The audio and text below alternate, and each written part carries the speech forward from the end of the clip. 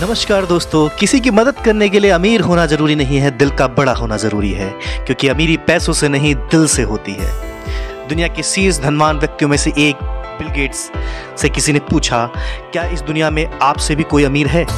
Bill Gates ने जवाब दिया हाँ एक व्यक्ति को मैं जानता हूँ, जो इस दुनिया में मुझसे भी ज़्यादा अमीर है। व्यक्ति ने बिल गेट्स से पूछा, कौन? गेट्स बोले, बहुत समय पहले, जब मैं अमीर और प्रसिद्ध नहीं था तभी किसी दिन मैं न्यूयॉर्क एयरपोर्ट पर था। वहाँ सुबह सुबह एक लड़के के पास अखबार देखकर मैंने अखबार खरीदना चाहा।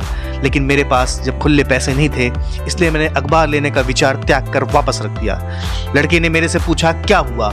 तब मैंने खुले पैसे न होने की बात कही। लड़के ने अखबार देते हुए कहा, यह मैं आपको मुफ़्त में दे देता हूँ। कुछ दिन बीते, लगभग तीन महीने बाद संयोग से उसी एयरपोर्ट पर फिर उतरा। अखबार के लिए फिर से मेरे पास खुले पैसे नहीं थे। उस लड़के ने फिर से मुझे अखबार दिया तो मैंने उसे मना कर दिया। उस लड़के ने कहा, आप इसे ले सकते हैं, मैं इसे अपने लाभ के हिस्से से दे रहा हूँ, मुझे कोई हानि नहीं होगी। मैंने अखबार ले लिया। लगभग 19 साल बाद, मेरे प्रसिद्ध हो जाने के बाद, एक दिन मुझे उस लड़के का ख्याल आया, और मैंने उसे खोजना शुरू किया। एक डेढ़ महीने खोजने के बाद आखिरकार वह मिल गया। मैंने उससे पूछा, क्या तुम मुझे पहचानते हो? लड़का बोला, जी हाँ आप श्रीमान बिल गेट्स हैं। बिल गेट्स बोले, तुम्हें याद है, कभी तुमने मुझे मुफ़्त में अखबार दिए थे?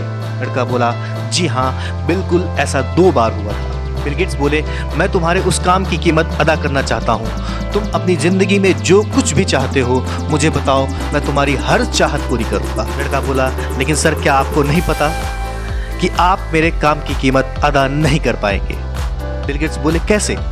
लड़का बोला, मैंने आपकी मदद तब की थी जब मैं एक गरीब लड़का था, जो अखबार बेचता था। अभी आप मेरी मदद तब कर रहे हैं जब आप दुनिया के सबसे अमीर व्यक्ति हैं।